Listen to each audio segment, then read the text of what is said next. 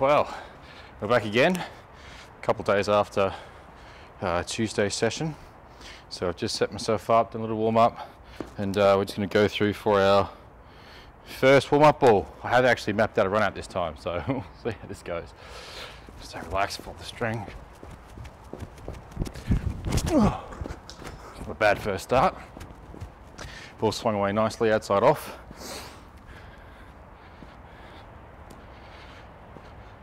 So yeah, I think just these first first six, just my warm-up balls. I'm just going to try and stay relaxed. Very similar to what I did last time. Uh, I'm just looking to get that flow, that rhythm back. Oh, oh that was really nice. That went straight over the top of off.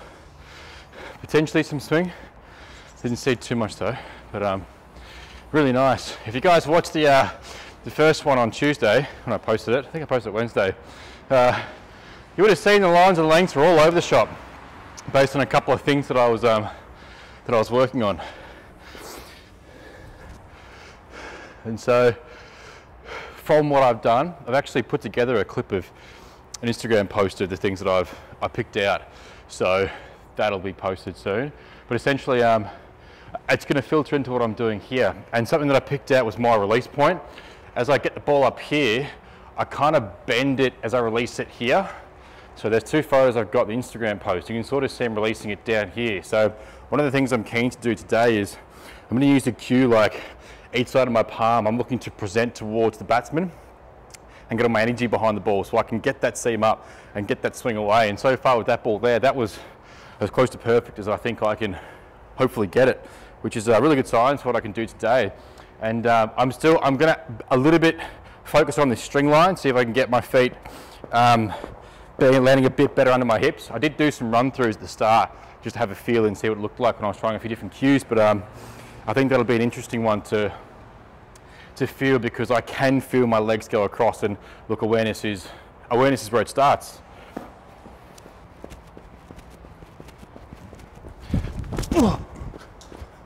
So that one down leg.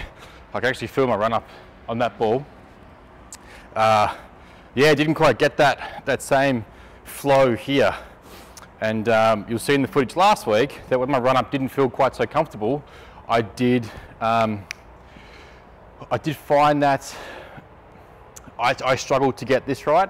And that's just a simple compensation. So it's something that you need to be quite wary of. If the run up doesn't flow well, you're going to compensate down there. Nice smooth run up, build up. Now it's better. Outside off. Don't mind that at all. That's four balls, I think. Not really great at counting. Uh, I should probably take a second just to refocus on what I want to do because it's so easy to get caught up in the in the the flow, I should say.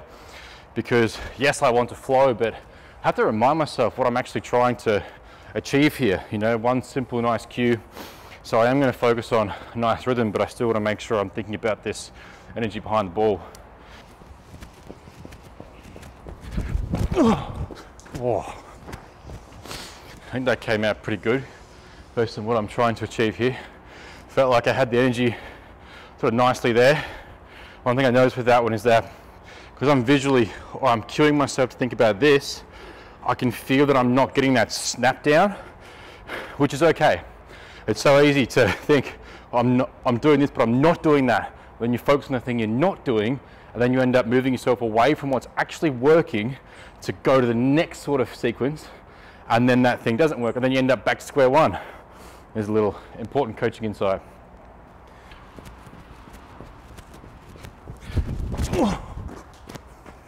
Bit down leg, but I felt like the seam was okay there. So that's my um, my first overdone. I did put a bit more energy into um, that last one, just to sort see how it felt to get a little bit behind it, a little bit behind it, and um, and you see how we go. I have actually filmed my um, my side-on views this time because I thought, let's see, we change a couple of camera angles, see if we can get a bit of side-on footage too. I'm not going to be thinking about the, you know, anything to do with bracing the front leg. That's going to come later down the track. It is something that I have worked on in the past, but I know full well that if I can get my running mechanics right, it's going to flow really nicely into this sort of stuff. So there's definitely no need to try and do it all at once, which a lot of people try to do. And when you try and do too much at once, you end up doing nothing well and you come straight back to square one. What was the point in the first place? God damn it. So table run up. I've had this issue yesterday. It's interesting trying to work off something that's just, well, it's obviously not my full run up. And uh, I do have a, I did, I did do the village thing again and I kind of jogged it out. But you can see how easy it is when you jog it out and you feel like, even just a little bit tensed or excited, I could be overexcited. I'm really keen to feel that release up here, to, to lose that patience. Then I might accelerate too early. I end up getting myself into poor positions and there we go.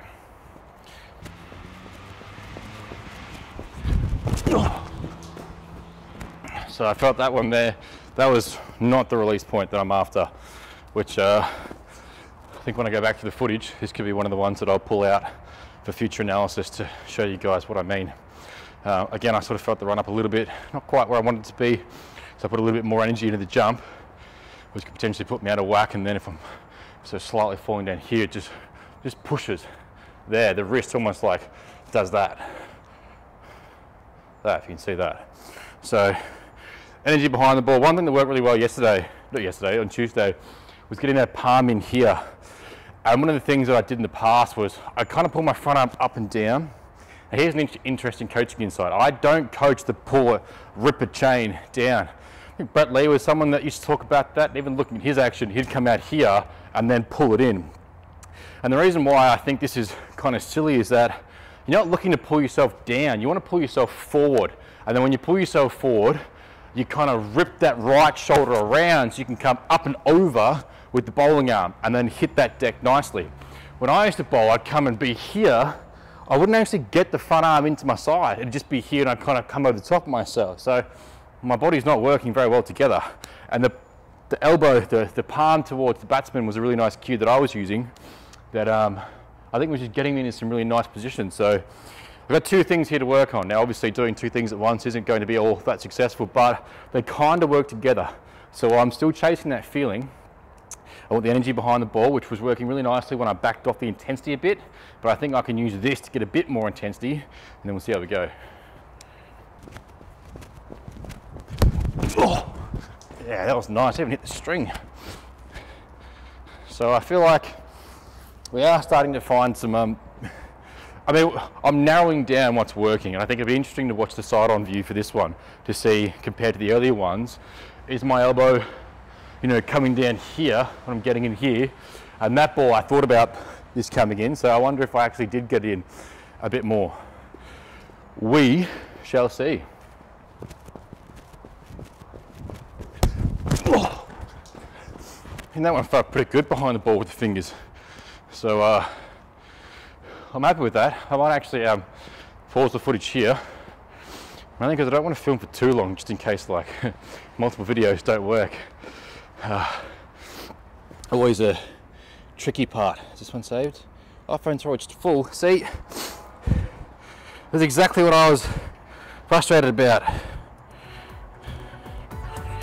Space. For fuck's sake.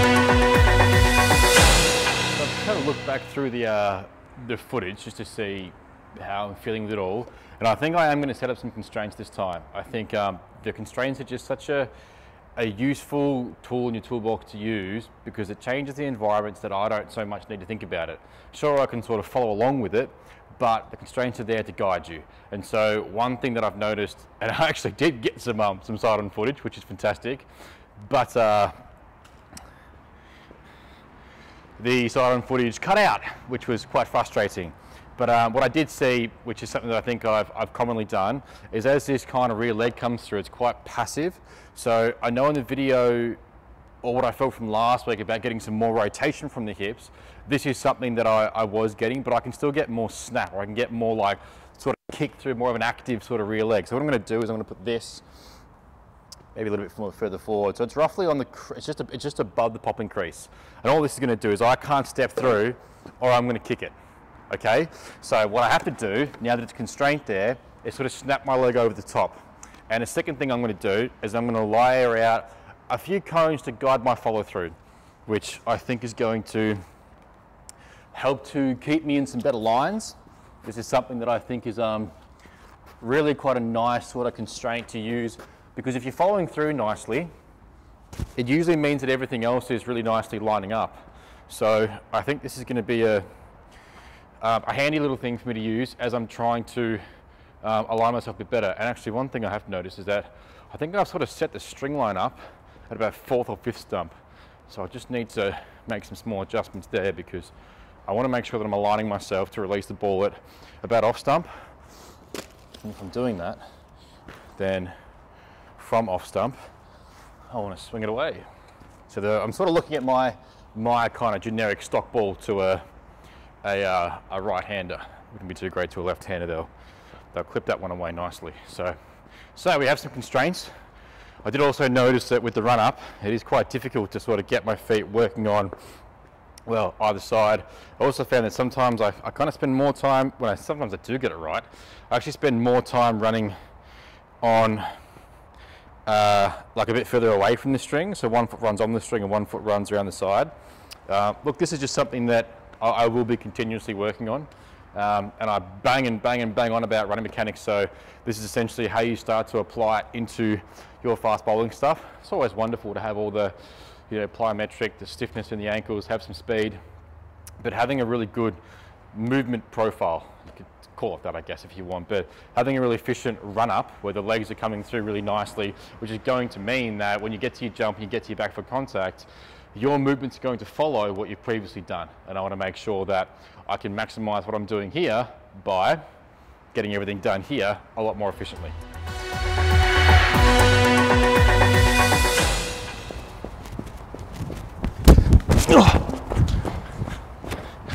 That was interesting. I think I'm gonna have to just adjust where I've got this. You know because there's no umpire here, what's actually happening is that I'm bowling no ball. Fuck you to all the people who are going to call me out for bowling no ball. There's no umpire here and I haven't got a proper run up, so I'm okay with that. But it does also mean that I can't be landing here with the constraint there. I need to bring it forward a little bit. So, but look, we're problem solving now. So there you go. Uh, first ball with that. Let's see how we go with the, the second.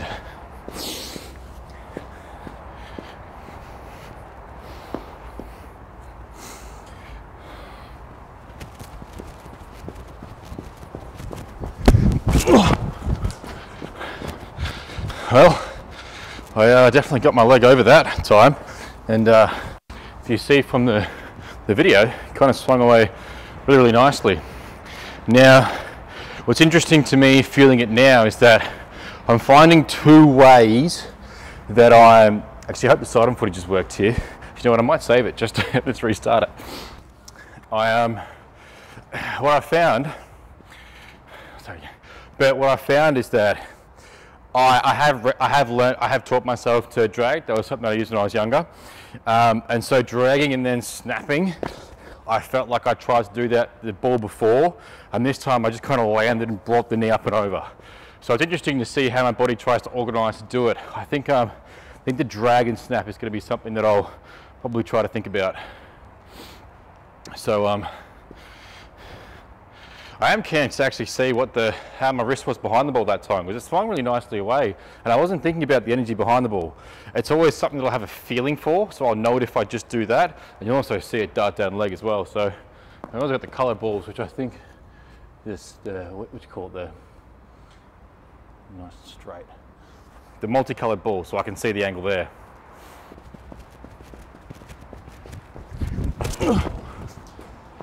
So that one wasn't quite there. I think I did feel the run up was a little bit messed up there, which is frustrating, but I think we'll, um, yeah, this run up's going to be something really important. So if I don't get that flow into the crease, it's just not going to work.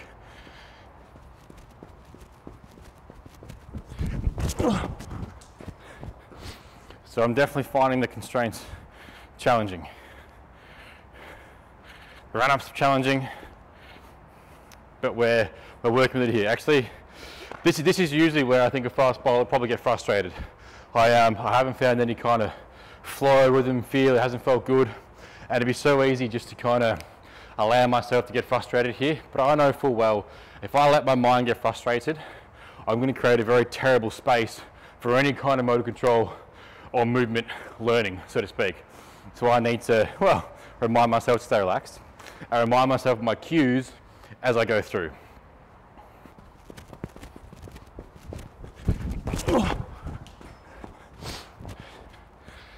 Still not ideal.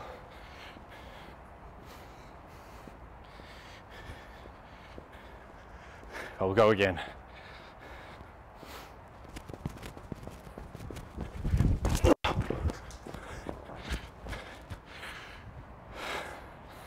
Still not happy with it.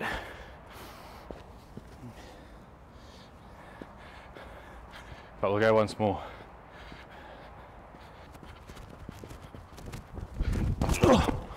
Whoa. Well, that last one was good.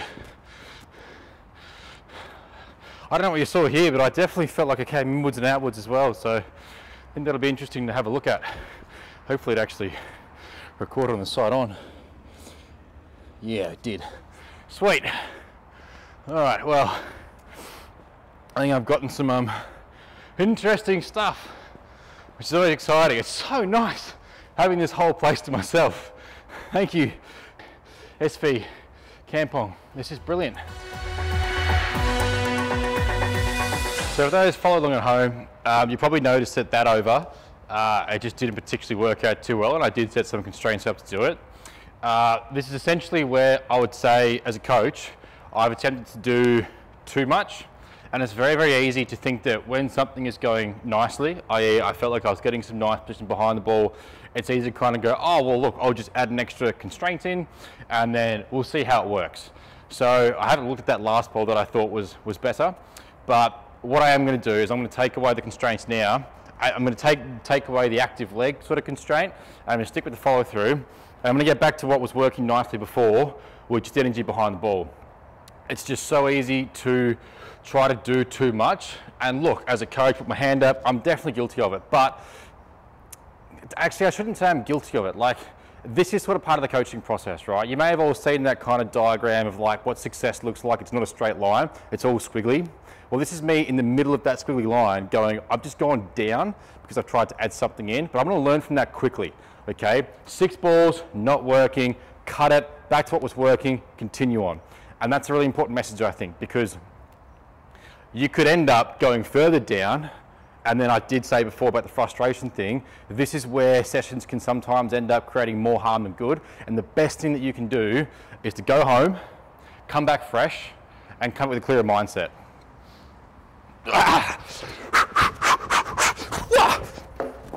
Lucky it's quite soft, but uh, yeah, let's go again. All right, so now I'm just back to energy behind the ball. I want to pull this in, nice and simple.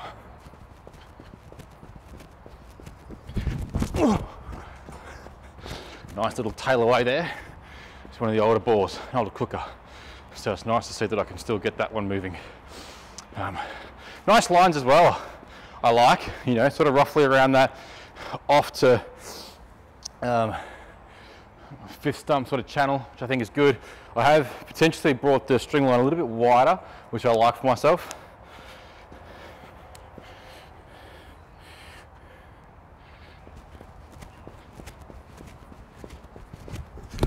Oh, oh that was not good.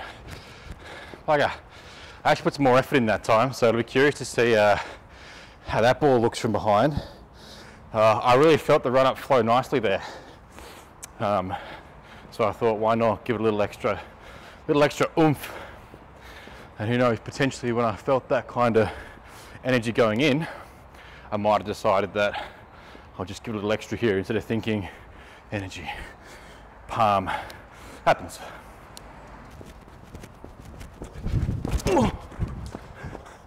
So down leg again to put some more energy in. But I think I can manage this. I think I can get it right with this extra bit of energy. And it's nice to kind of feel the body putting some effort in.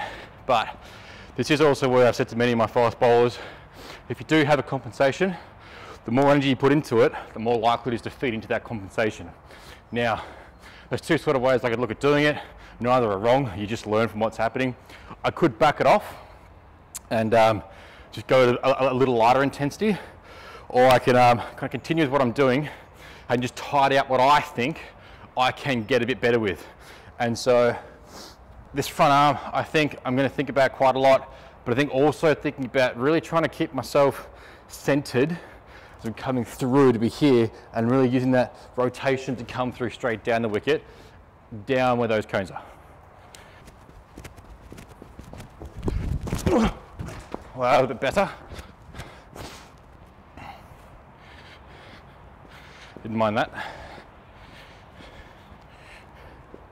I can definitely sense the run up too is something that um, just isn't quite feeling natural, but I'm trying to stay relaxed, which is key.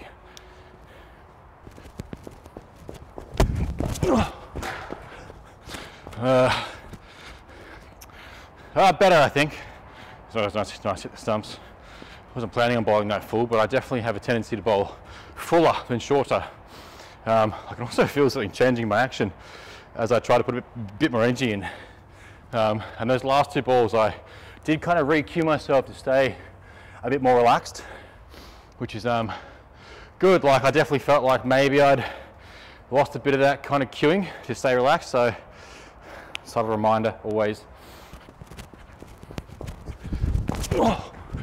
Okay, I think we're making some progress. Uh, still not quite where I want it, but um, uh, such is life. I've just had a little bit of a break, having a look at some of the footage, and I just did that Instagram post that I said I'd do about last week's stuff. Um, so I think for this last over, I'm just going to dial it back a little bit and just really try to work on a nice kind of release point. That's the takeaway that I want, and I want to continue to, you know, aim to follow the string. I am finding that a little bit challenging to do, and I can feel that as I try to follow it, it's so easy for me to sort of step across myself. Uh, this is all just part of the process. It's only my second session back bowling, so I'm not going to be too hard on myself. And I think I'd like to walk away from these last six with a, a couple of really nice balls, balls with the energy behind the ball.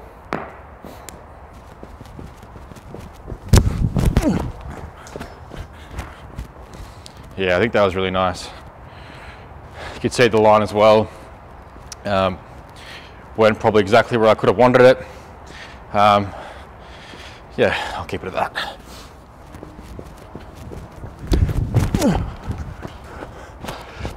that was another quite nice one.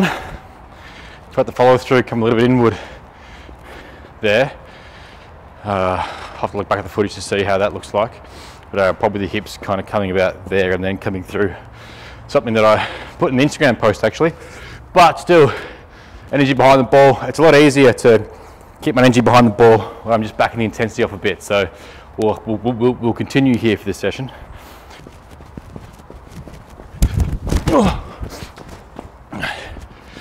Well, I said I'd continue there, but I think I actually put a bit, a bit more energy into that one. Uh, I can sort of feel with the run up. Um, if I feel like I'm too far away, I accelerate. If I'm too close, I'm slowing down that one I felt like I could kind of put some more energy in. So I probably got that run up a lot nicer to be honest. But uh, it looked like the ball came out where I wanted. So um, I'll take that as a win. One thing I'm actually focusing on here is to, um, I think what I was doing before with the, the running on the string, I'm almost running too tall. It seems counterintuitive, like you, you do want to be kind of tall, but now I'm kind of putting some energy forward in the string. Like I'm actually trying to get that hunting forward a little bit. Before maybe I was just, uh, you know, maybe a little bit too relaxed, which there is no such thing, but I was kind of cruising through being a little bit too tall up here and finding it a little bit difficult. So I'm actually finding this a little bit easier. Uh, I don't know how it looks in the footage. You guys can have a look back through and compare it to the start and finish and see if you see anything, but uh, just a little note that I think feels good.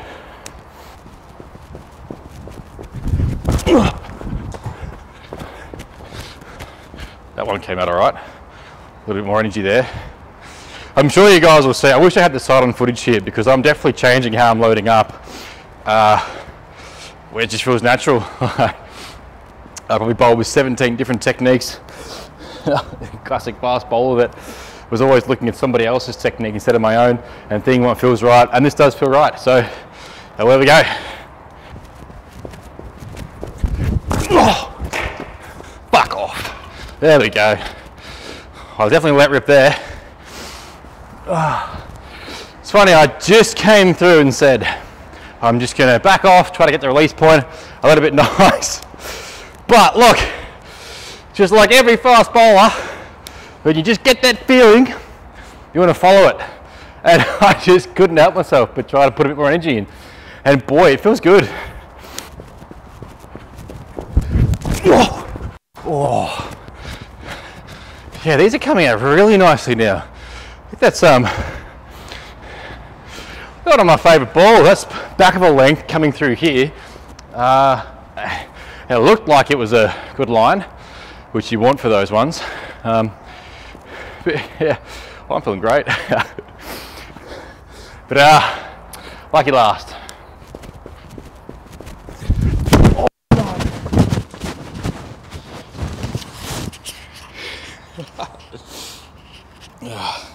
Well, I pulled out the string. I think it uh, still actually works. Not the string, I pulled out the, uh, the microphone. a little uh, a little hazard of the job, I think. It's actually really, really, really funny. Oh gosh. Well, there you go. If you guys are going to bowl mic'd up, oops, maybe put the the mic on the non-bowling side, and maybe even put the the thing all the way in there. that one felt good as well. One more. Oh. oh. That's clipped away. Well, I can't finish on that. That was a terrible ball. I know a couple of um, Dutch batsmen who are very strong on their legs and they would have absolutely loved to put that one in the stands. Good thing I'm not playing internationally. So that's kind of been a really interesting last ball series so far here. Knocked out the string. I probably, um, I don't know, I got a little, little, little bit too excited. And uh, in that excitement, I don't know, something happens. You've got to control yourself. Oh, that wasn't too bad. I knocked out leg stump again. Still not where I want it, but I think um, that's a good session.